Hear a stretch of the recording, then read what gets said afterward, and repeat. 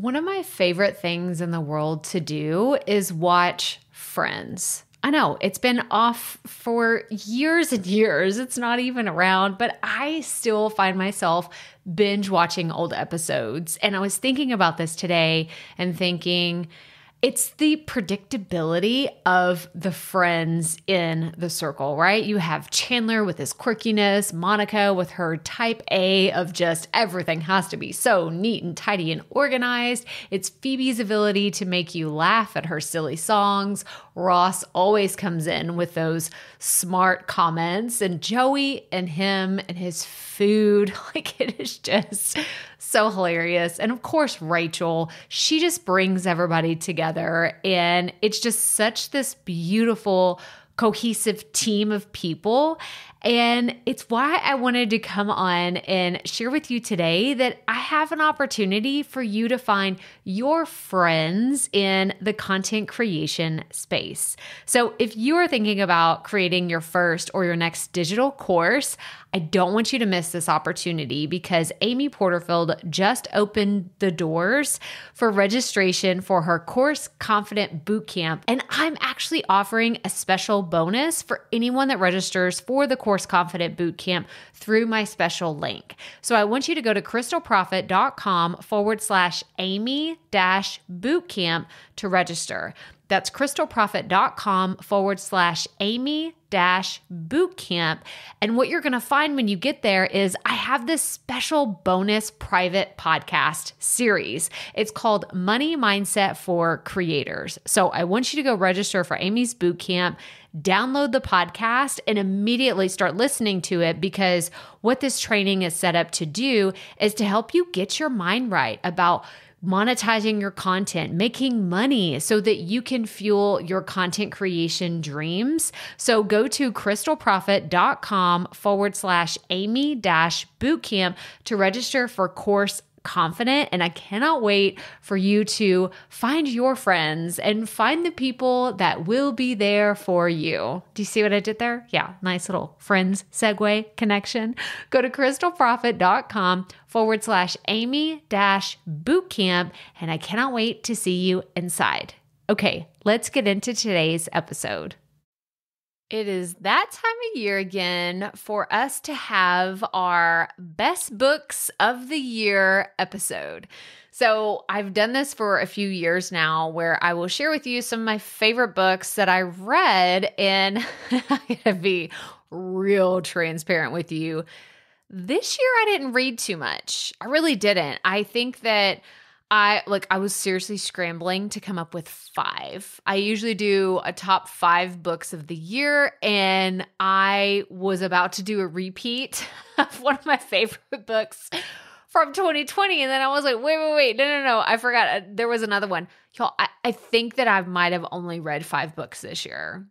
I know it's bad. It's bad. I read probably 30 books or so in 2018. I was just in this consuming mode of I got to get my hands on everything. And I have just, I think it's because I've been listening to so many podcasts and I when I read a book at night, I will just fall asleep. So I haven't been haven't been reading as much, but I did have 5 books that I want to share with you of 2021. So let's get right to it. Welcome to the Profit Podcast, where we teach entrepreneurs how to start, launch, and market their podcast. I'm your host, Krystal Proffitt, and I'm so excited that you're here. Thanks for hanging out with me today because if you've been trying to figure out the world of podcasting, think of this show as the time saving shortcut you've been looking for. So let's get right to it, shall we? Okay, so the books that I'm sharing with you today are not in order of how I read them or how I would rank them.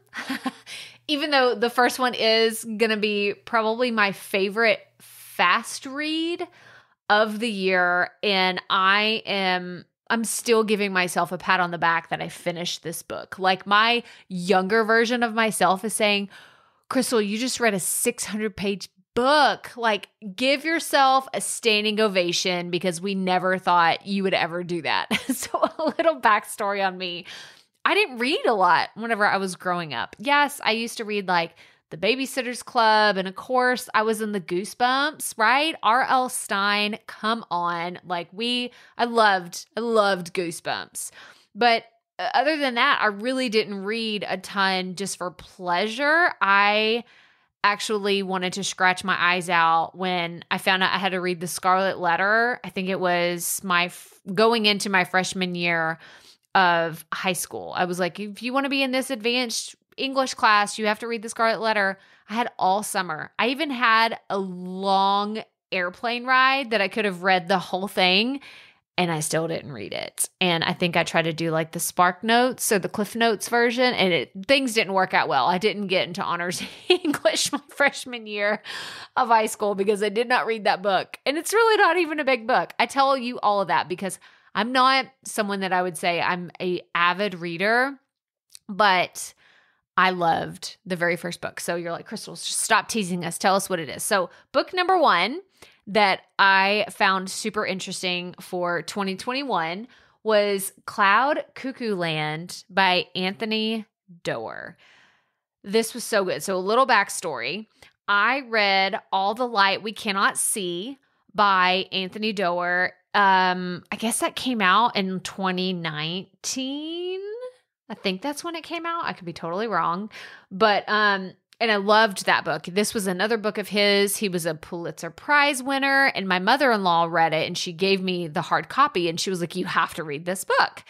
And I don't remember what was going on, but I just picked it up one day. I was like, Yeah, sure. You know, I guess I'll try this out. It was so good at the pacing of how it was written. So it was like back and forth, back and forth, back and forth um, short chapters. And I thought, oh my gosh, this is so good. And so I loved that book. So when this one came out and I saw it in, in an airport earlier this year, and it was so thick.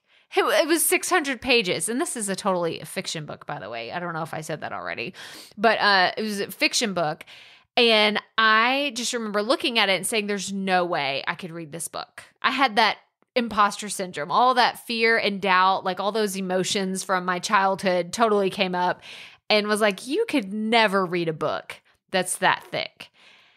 But I remember how good it felt to finish his last book and how I just could not put it down. I was like, this book has to be that good too. So I read a 600 page book in less than a week because I could not put it down. It was so, so good. I can only imagine that the audio version would have been just as good, but it was also around the time where if you listen to the potty report, you know this. I had said, man, I feel like I've been on my phone way too much. I am going to read more before the end of the year. And this was the first book back into that, which actually accelerated my ability to read more because y'all, if you can read a 600 page book in a week, like let's be honest, I got three kids, I got a business, I got lots of things going on.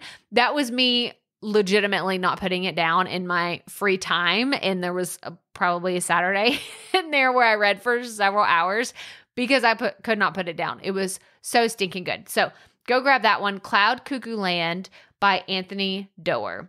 So, the second one, and I have to throw in, we have fiction and nonfiction here today. The second one is for those of you that are struggling to get really, really focused on what you need to be doing. Okay.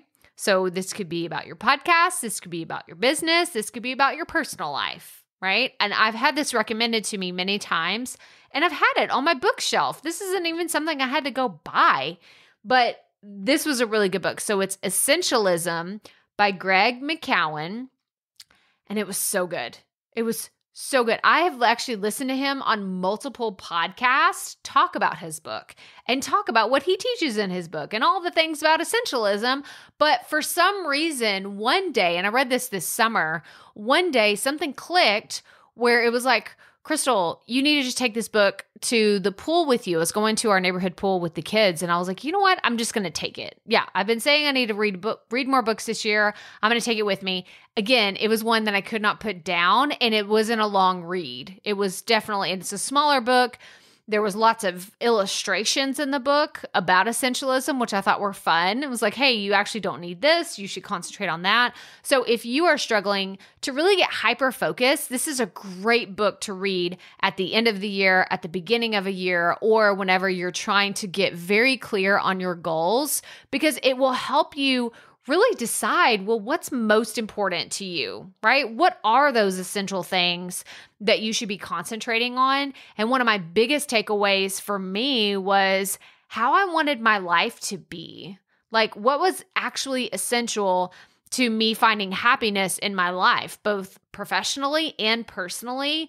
And how can I help both of those things align? And it's helped me, which I've already been really strict on my own time management and how I spend time on projects and when I'm working versus spending time with my family. But this really helped open my eyes even more to how I could be more efficient. So, not just doing the essential things, but being a lot more efficient whenever I am working on my business or spending time with my family or doing whatever it is that I'm doing in my life. So, Essentialism by Greg McKeown. So, so, so good. And I recommend the hard copy, like I said, because there are illustrations in there that are great. I recommend the hard copy for all of these. Actually, now that now that I'm looking at all the, I, I have the either the paperback or the hard copy of all of these books. So I, I do love an audiobook, but I also like getting disconnected from all technology and reading a actual book from time to time. That's just my preference. You can do do with that information whatever you want. okay, the third book I have is From Paycheck to Purpose by Ken Coleman. So, if you listen to this podcast on a regular basis, you know that I went to Ramsey Solutions in Nashville in the month of November. And it was so cool because it was actually the week that Ken released this book. And, or maybe it was the week before he released it. I don't know. It was right around lunchtime because I actually had the opportunity. I was sitting in the lobby. It was one of the days before the the daily conference was starting and I was sitting next to someone and you know, I just gently was like, "Hey, what is it? What do you do?" Eh, because I noticed that he was getting a lot of people, and I didn't do. I wasn't the weirdo that sat down and was like, "Hey, tell me about your life story." I was sitting there, and then multiple people were walking into the hotel, and they were like, "Hey, what's up?" Hey, what's up? You know, they were calling him by his first name. And I was like, oh my gosh, like he must work at their company well, come to find out, he worked on Ken Coleman's team as they were launching their book, this book, Paycheck to Purpose, or From Paycheck to Purpose.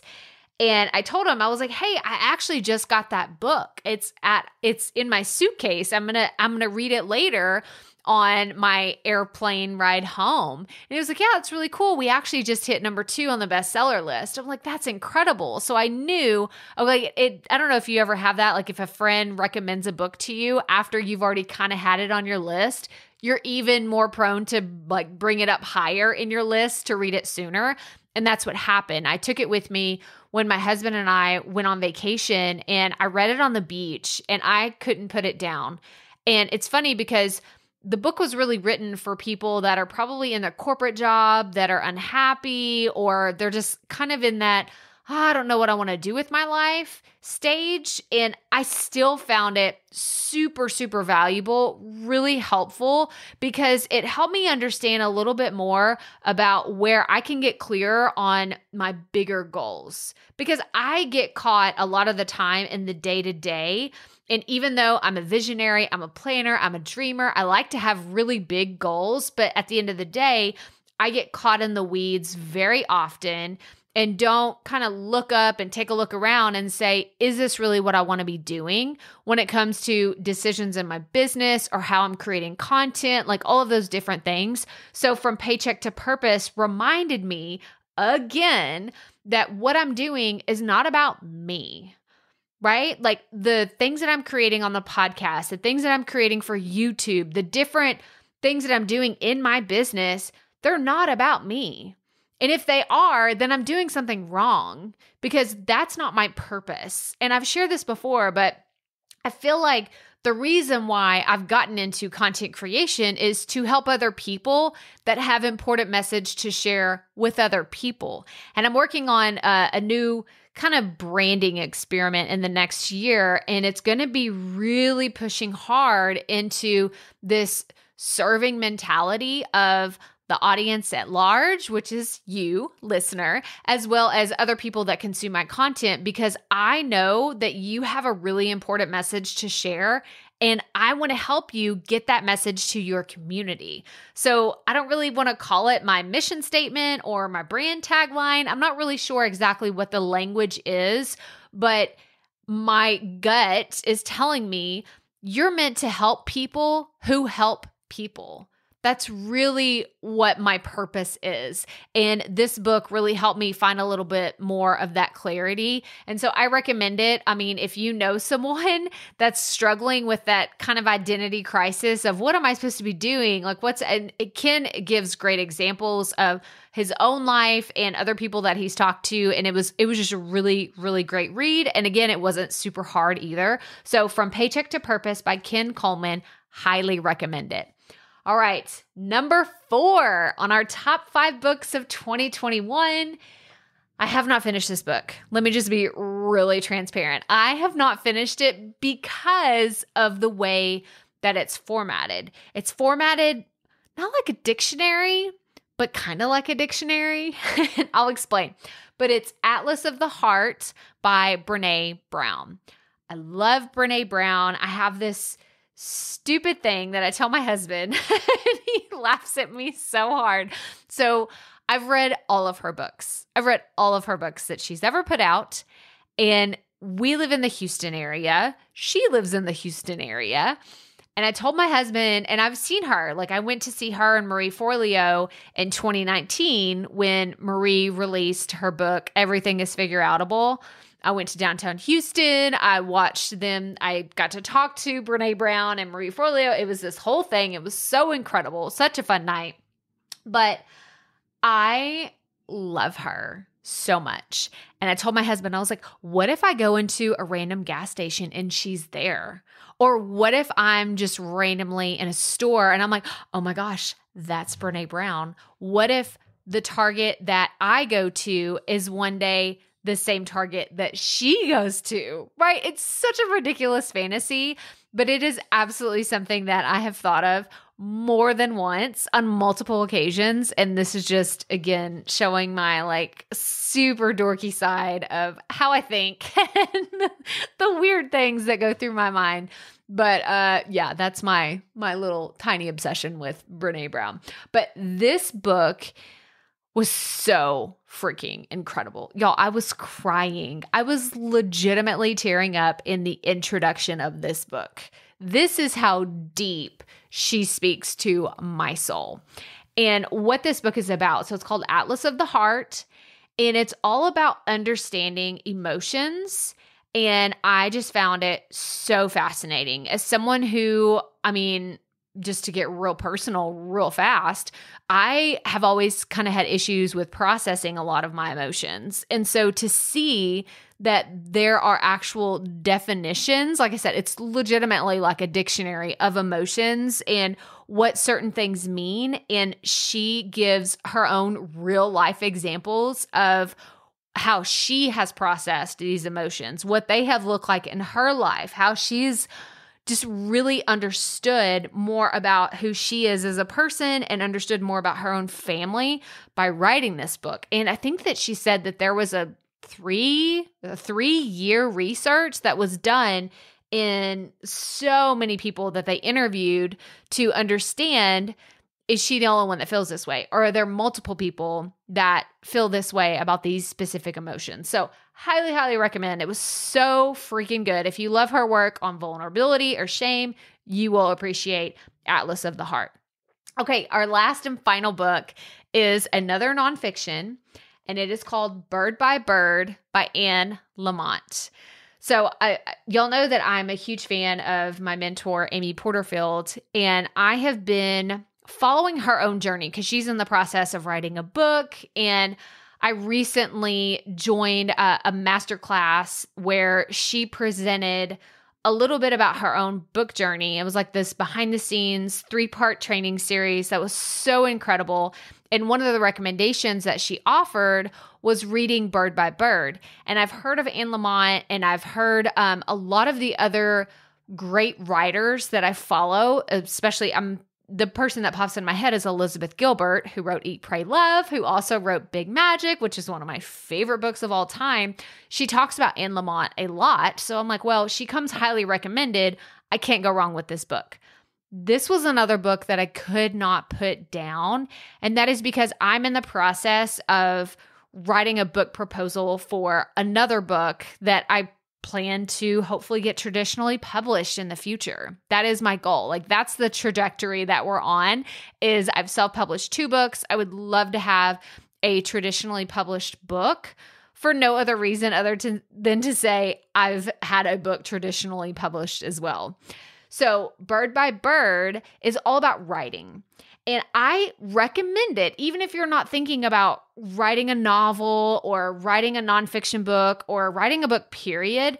If you want to become a better writer for your email marketing, for your social media captions, any of those things, I recommend this book because she helps you understand writing processes and how sometimes you just have to get everything out of your head onto paper or into a Google Doc and then make it better from there. It's what is called the shitty first draft. And I had heard that from multiple other people that were actually quoting her.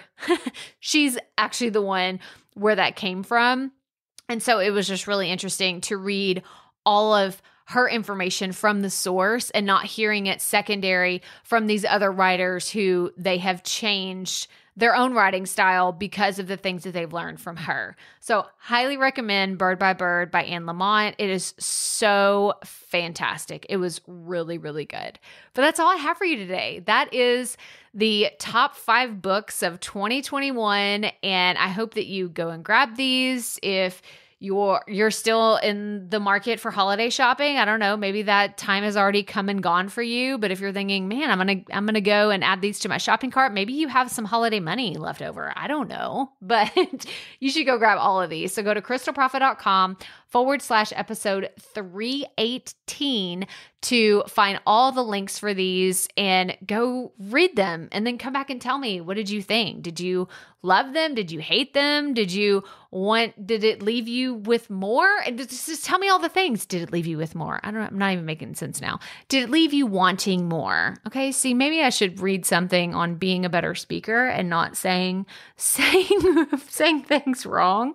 But if you listen to the show, you know I always always get metaphors incorrect. But that's okay. That's okay. You don't come here to listen to me saying metaphors correctly. I understand this. But that's all I have for you today. So make sure you hit the subscribe or follow button wherever you're listening to this podcast. And as always, remember, keep it up. We all have to start somewhere.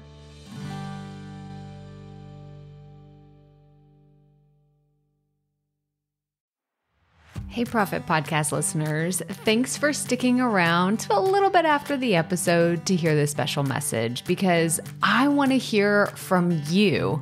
We are starting a new segment called Fan Mail Shoutouts, and I want to hear from you and I want to hear your questions. What do you want to know? What questions have you been dying to ask me? So, here's how to make this happen go to the app where you're listening to this podcast right now. Go there. I'll wait a second. Okay. Now, once you're there, you're going to see a hyperlink at the top of the episode description that says, Send Krystal a text message. And that's all I want you to do.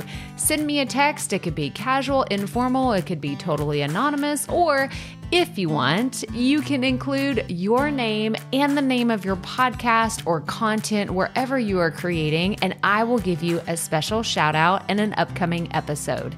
So, again, go to the show notes for where you're listening to this episode right now, and it will say, Send Krystal a text message. And I cannot wait to hear from you and give you a shout out in an upcoming segment of fan mail shout outs.